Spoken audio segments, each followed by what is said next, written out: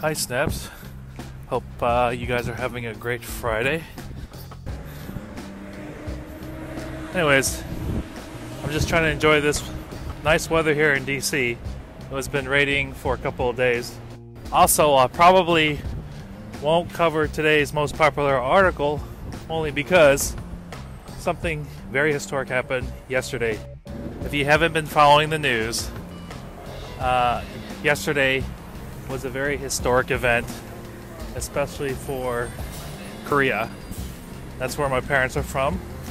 And so I have a lot of personal connections to this story.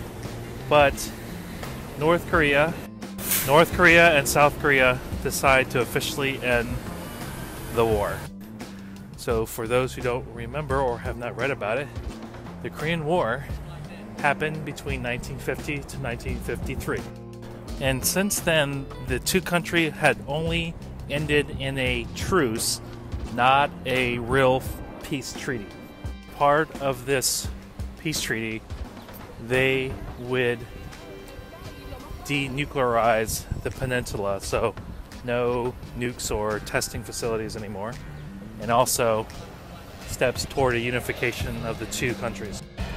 And so, personally, for me, the reason why this is actually very meaningful is because uh, my uh, grandfather actually died in the Korean War uh, fighting for the South, and um, he was actually um, killed by the North Koreans uh, when he was the chief police in this precinct. So my grandmother actually fled from the North as a refugee when the North invaded, um, and actually seek refuge in the South and so we technically still have relatives um, up there, mainly for my father and his uncles and aunts. And over 65 years, we still have no idea about their whereabouts, and now um, we may have a chance after this. Yeah, so for a full peace treaty to happen, experts say that in order for it to be completely um, signed, the U.S. and China, the original um, entities during the Korean War, have to also sign to really officially end it. So I am cautiously optimistic that we are on track to actually have real peace on the peninsula.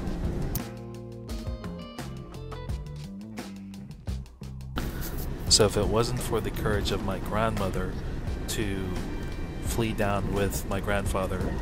Um, and if it wasn't for the courage of my grandfather to protect the precinct, and if it wasn't for the audacity and courage of my dad to immigrate to this country, I wouldn't be here.